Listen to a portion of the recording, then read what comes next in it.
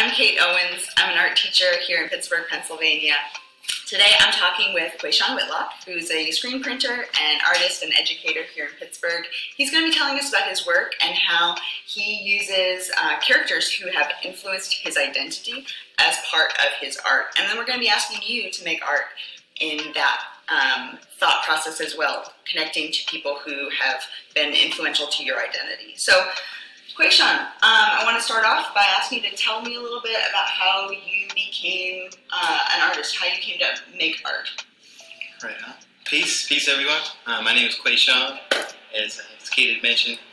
I guess I started this journey actually working at the Andy Warhol Museum years ago. I was uh, 15 years old, started as an internship, and the Andy Warhol often uses printmaking as a vehicle to talk about everything, whether it is the pop art, legacy that Andy Warhol created, or it is even just color theory, or in the actual photographic silkscreen printing, which is kind of what we'll get into a little bit later. Mm-hmm. But photographic silkscreen printing, and even just the nature of silkscreen printing and printmaking, has served to be an incredible vehicle for me um, in the arts, but as well as as a learning aptitude. You know, mm-hmm. even just to dig in a little bit further on the many different ways that an image can come together, that an idea can come together, but as well, the Andy Warhol kind of they got me with the bug. They hit me. Mm-hmm. They, they got me started um, learning about it a little bit. Actually, got me involved in the studio that we're in right now called Artist Image Resource. And Artist Image Resource often partners with the Andy Warhol Museum in some of the development and production of the screens and some of the uh, silkscreen printing aspects of our curriculum and our education basis for Andy Warhol and for some of the, uh, the workshops that we do. But for me, essentially, you know, just just working through it all. I'm 26 now, so in terms of our, our little story that we gave, um, it's been it's been a little bit um, working with the Warhol, and then getting an opportunity to come up here and actually partner with Artist Image Resource, and then actually become on the payroll, actually become a yeah, employee here and all that jazz. So to actually get a hands-on experience working in a print lab, but as well an experience to kind of be in an arts career. To actually, you know, myself being an artist, trying to you know take over the world and, and make many things and sell my artwork to everybody. Um, there's a, a, need and a professional need to actually eat off of the arts, you know, to actually be in the arts, make a career out of the arts. So an exposure to the Warhol and exposure to a studio like this was, was game changer. Absolutely. and allowing you to make art and um, have a career. Yeah, both absolutely. together. And especially with a studio like this, you know, the, the making art and the career go hand in hand. Mm-hmm. So it's you know many aspects that we are serving as this arm for the community to you know help with screen production or help. Uh, this piece. So, um, Quayshawn, this is your piece, John Henry. Tell me a little bit about how this developed, and um, also tell tell us who John Henry is. I mean, hopefully the world already knows. This is uh, John Refresh Henry. our memory. Yeah, true that. But I mean, John Henry was is a character that was actually inspired from a real life individual um, in Virginia. John Henry was um, based off of a real life slave, escaped slave, as they mentioned to say, so a free black man mm-hmm. um, that was working on the railroads. And essentially, even for me personally, my connection with John Henry goes way back. That you know, we used to have conversations early in like English in elementary school. In elementary school, there was that tall tale yeah, unit, you, know, you only had John Bunyan. John, Paul Bunyan. Paul, Paul Bunyan, Bunyan, thank you. you Paul uh, Bunyan. Johnny Appleseed. Yes. And, uh, John Henry was essentially, he was the black tale. Uh, he was also the tale that uh, was a little bit was a little bit deeper in terms of this this tale of determination and this this kind of competitive this competitive strength he had against the steam engine. So John Henry, the story for me early, you know, this is I'm in third grade. I'm hearing this story about uh, the the black man who was big, strong black man. Essentially, he worked on all the railroads. He was breaking through the mountains Mhm. to uh, you know make pathways for Right. the way the tracks. Him, him, him, And, uh, he was strong enough to he was strong enough be, yeah, to uh, break down the mountain. And in some of the earlier images, there's actually a man down here who was laying the pins for Josh. Okay. So as he's going, as he's breaking stuff, the man just puts the pin puts the pin down, John slams it, drops the thing, and they kind of keep moving on. building the railroad And, you know, he was like a machine. Right, like a machine, but he was like best in town. You know, best in the community, best in the ground. You know, best even as the stories were told, and it got to the point where the man, the white man who owned the railroads, the men essentially who were developing these railroads, had of steam engines. They were like, you know, we're going to kind of essentially change the story a little bit, change the narrative, Mhm. or you know, up our production. Right. Uh, so they brought in the steam engine. John Henry was getting his character tested, so he felt as though he needed to go up against the steam engine, and you know, even not even just uh, you know, he felt he needed to go up against the steam engine, but it was this story of you know the man versus the machine, as you Mhm. already mentioned. You know, I mean, this idea that you know you have men behind the men behind the scenes making these things happen, whether it's a production landscape or it's a development landscape, and bringing something like the steam engine, you know, crushes that for something that you know, John Henry had built, Makes somebody else obsolete. makes someone else obsolete. Exactly. So you know, to go up against the steam engine was huge, and the story as it goes is that John Henry, you know, worked for nine hours breaking through the mountains. Um, actually, I think he made like 17 miles or something Ooh. crazy, as opposed to steam engine only made it 10 miles. But you know, essentially, John Henry won the race. By the time he got to the end, he was so overworked that he actually had a heart attack and died.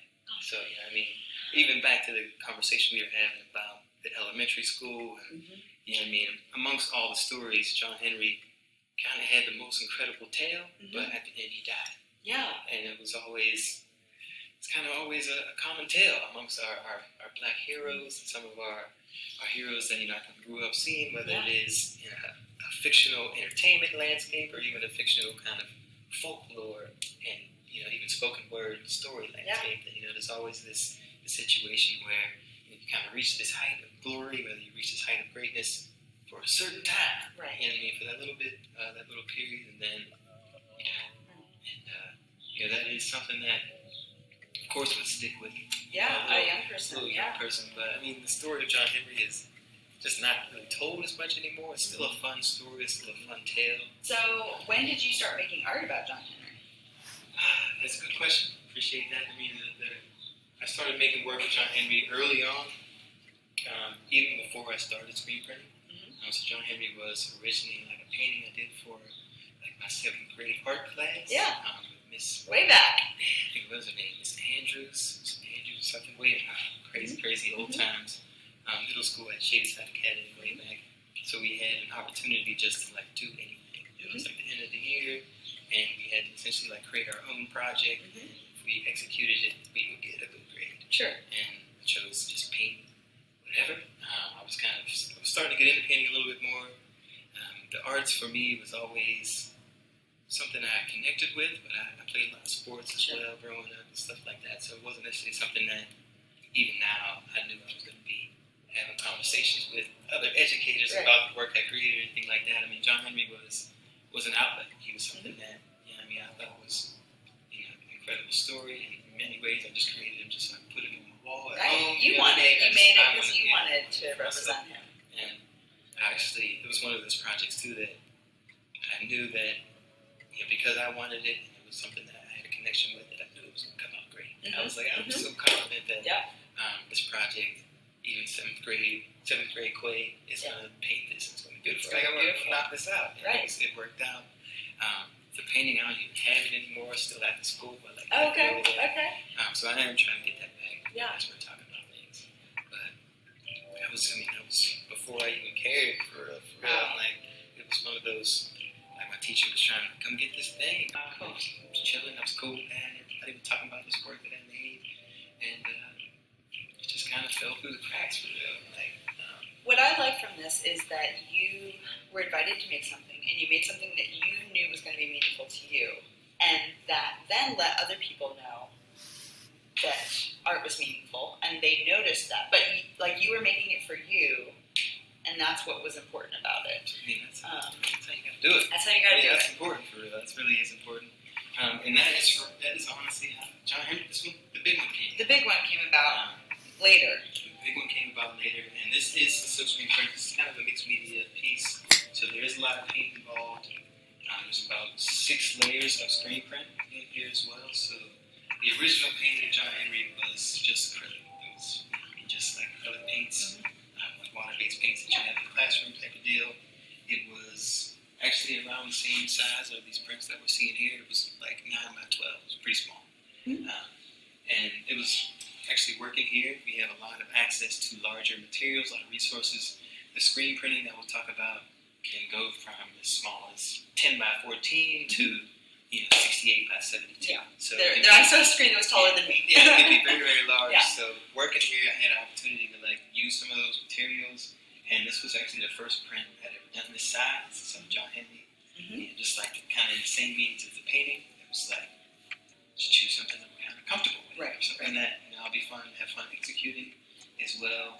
I was pretty confident that I can like throw them in a frame and put them in a show or two or something Mhm. like that. With Mhm. printmaking, there's a lot of multiples that happen, so Right. you know, as we're working through it, I might have had it in mind to keep one or two for myself or sell some, but as well, you know, it was always the idea to maybe have some display to the world. Yeah, this is going to be for others to, to see. Right, absolutely. Yeah. And uh, the print itself was originally a CMYK print. I'm not sure how deep you want to get into CMYK. It's a photographic printing measure where you actually can take something like a full color painting or a full color photograph and separate it into four screens. So the photographic screen printing is something that is one color.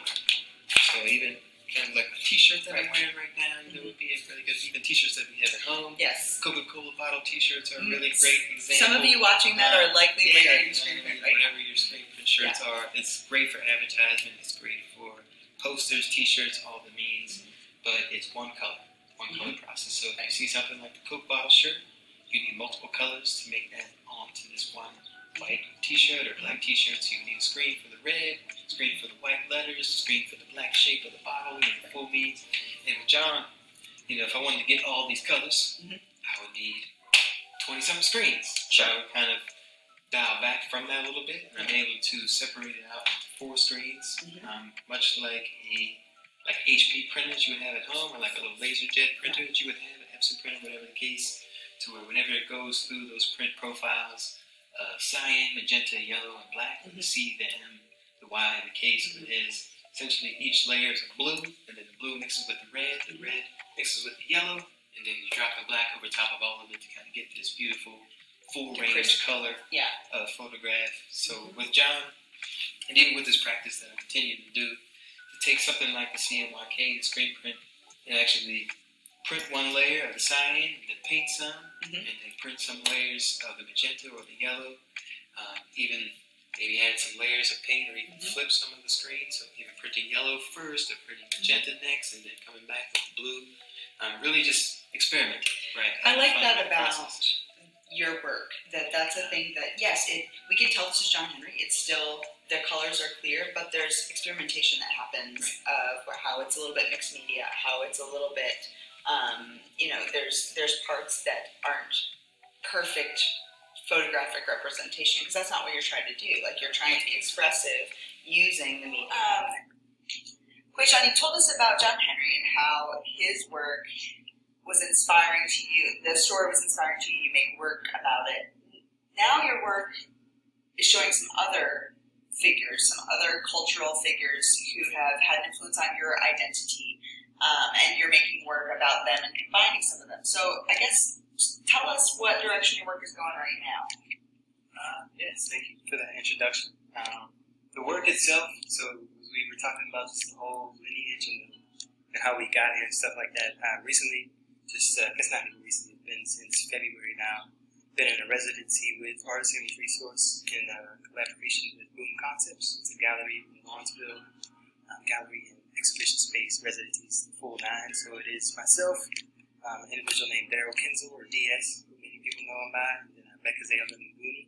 Um, so three of us are in the space collaborating, um, essentially pulling out some of our own work, our older works, and some of our archive pieces, and kind of working with those medias as well. I had an opportunity to like, start up something new, which was Yeah. really amazing. Um, just as we you know, talk about in arts careers and stuff like that, it is a beautiful blessing, and opportunity to give given a space and given um, screens and materials, and freedom, time, just like time, right, to like actually do this stuff and uh, do this stuff, do this work, um, expand on your own body or your own your own, just your artwork itself. Working with, uh, having conversations with, well, to uh, expand on conversation with John. You know, this black body, this, this individual, this man, um, this, this figure that was incredibly powerful to me, but as well, he's kind of just powerful on the page himself, just as he stands. And the first guy up here, uh, just a little little background on my man's up here. This is uh, Professor K. That's okay. Uh, for the world that does not know, Professor K was a uh, radio DJ and MC on a video game called Jet Set Radio Future. This is DJ Professor K, baby, the master of mayhem, know what I'm saying? Bring you another Tokyo Underground pirate radio broadcast from Jet uh, Set Radio. uh, really the same conversation we had about John. Uh, this is one of those games I grew up playing. right. Kind of all the part of time. your growing up. And, uh, you know, the game itself is incredible. Cell animation on the game looks incredible. It still looks incredible to this day. You know, even all the conversations about graphics and images that stand the test of time.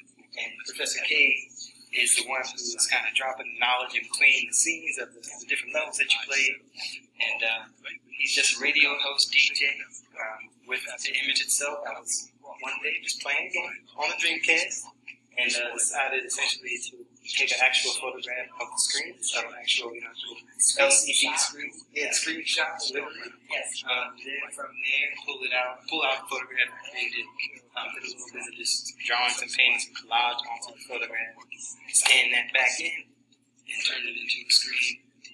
Um, the screen originally was a CMYK, it's the same thing with John. Um, with the CMYK layers, actually that. This is, C right here, cyan, this is blue, so this is the one that will essentially go down first. But this is essentially separation. So we have these separations, it's like having four different types of paintbrush in a way. It's like having different levels of a paintbrush or like different kind of bristles in your paintbrush maybe. Um, but it is, yeah, so there's there's different levels and values that come out with each screen. So you're playing around with the you know, with different colors or with different even different pressures or even deciding, well, um, I really love the detail and texture I get from the blue face, but I don't want any of the background. So I actually decided maybe I want to block out some pieces of that, but during that times four with each with each level, each color. So yeah, number two in our little breakdown over here. Uh, this is Eugene Bullard. You kind of see a little bit of Professor taking back to the elements that we want to keep. Some of the texture, some of the elements of color, some of just the elements of these figures and bodies throughout all the prints. And uh, really, it might just become more and more subtle depending on where the focus lies. For this one, Eugene Bullard. Uh, Bullard was uh, born in 1895. He was born in France. He was in France. He, excuse me, um, Air Force pilot. Um, actually, one of the few African American Air Force pilots in that time. It was early 1900s. Yeah. You know, let's imagine. Um, but he spent many years, you know, on enlisted and actually moved to America, just you know where I kind of got connected with this story. Um, moved to America and actually tried to box in America. So while he was in the Air Force and he spent some time in France, he started boxing a little bit, got a little bit of his prestige, you know, started winning some fights. Doing actually, well in France. yeah, doing very well. Moved to America thinking that the story would be the same, but the narrative in terms of just, especially in terms of his, his fighting, his competition, thinking that essentially, you know, you come over and be the same, you know, whether it means getting a fight or you know, setting up a fight, but it was not. Um, the love was not there for Eugene. He ended up working as an elevator operator for like a couple years and then moved back to France, was fighting a little bit more, opened up a very popular club for a couple of like, you know, the earlier black greats and like and stuff like that who were always in Paris. Um, and then he went back to the list again, uh, in the war. And, uh, you know, personally, even just in the conversation we were having about John and Professor, um, Eugene almost speaks as a little bit more of a real role model. I mean, he's, he actually lived, there's no fictional tale behind him. He's not a fictional story character in a video game or anything like that. And he, in many ways, connects us into our conversation about Jack Johnson that we'll kind of get into. But Eugene was, in many ways, a real story, real person, but his story is almost hard to believe. Know, Right. For him to That's a Yeah. remarkable life. right. So like for him to be born in, in I think a lot of it does have to be with him being born in France, born in a different place in a different time. Sure. The early 1900s, his life would have looked very different. Very different when he was born. So it's sort of. And I guess that I can admit and say, you know, I've, I've definitely thought about that personally. You know what I mean? Where I am and you know where we are as a people.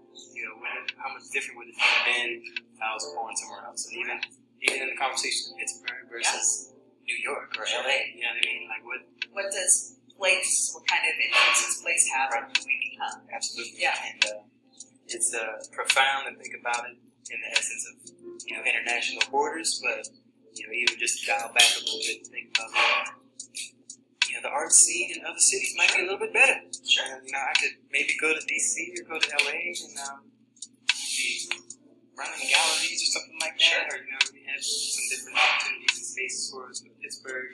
Um, the bowl's a little bit smaller, so you know the conversation doesn't necessarily escape as quickly or as easily. Um, so it is, um, it is a growing conversation. This piece I love a lot, a lot of layers in here.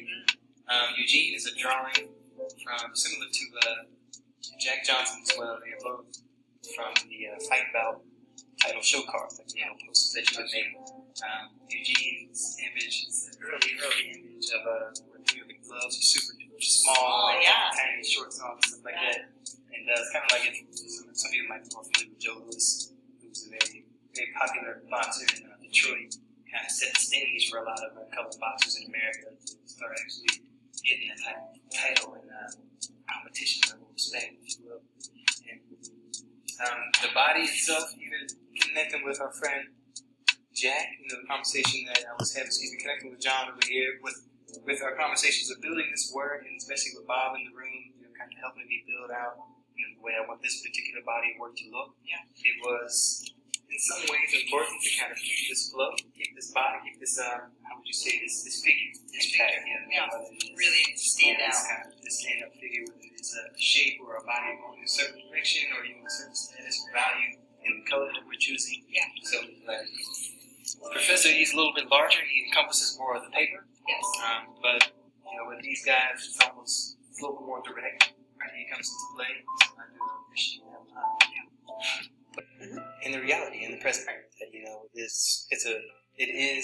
real story. It is a, uh, a story that had a lot of connection growing up historically for, for students, for educations, but these stories weren't told.